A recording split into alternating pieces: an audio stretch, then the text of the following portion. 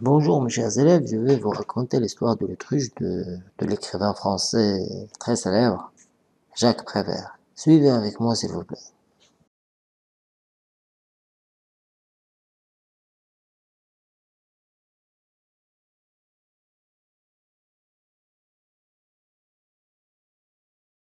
Lorsque le petit poussé abandonné dans la forêt sema des cailloux pour retrouver son chemin.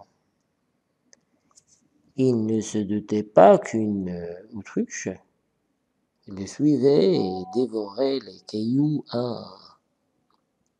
C'est la vraie histoire, c'est là, c'est comme ça que c'est arrivé. Le fils poussé se retourne. Plus de cailloux. Elle est définitivement perdue. Plus de cailloux, plus de retour, plus de retour, plus de maison, plus de maison, plus de papa-maman. C'est désolant. Se dit-il entre ses dents. Soudain, soudain, elle entend rire et puis le bruit des cloches et le bruit d'un torrent, des trompettes, un véritable orchestre.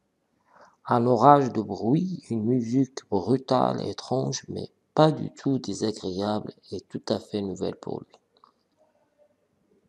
Il passe alors la tête à travers le feuillage et voit l'autruche qui danse, qui le regarde, s'arrête de danser et lui dit C'est moi qui fais ce bruit, je suis heureuse.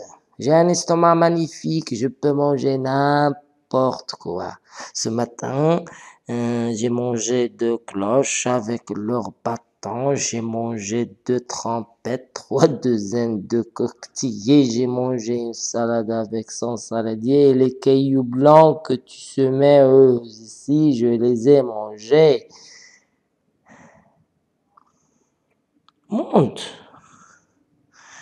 monte sur mon dos. Je vais très vite. Nous allons voyager ensemble. Mais, dit le, fils poussé, le petit poussé. Mais, dit le fils poussé ou le petit poussé, mon père, hein, et ma mère, je ne les verrai plus. S'ils t'ont abandonné, dit l'Autriche, c'est qu'on n'a pas envie de te revoir de sitôt. Le petit poussé. Il y a sûrement du vrai dans ce que vous dites, Madame l'Autriche. L'Autriche? Oh non.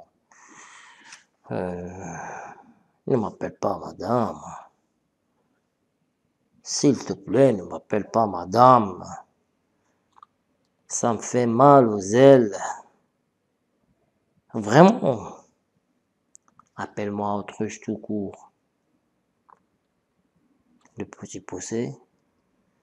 Oui, autruche, mais tout de même ma mère, n'est-ce pas?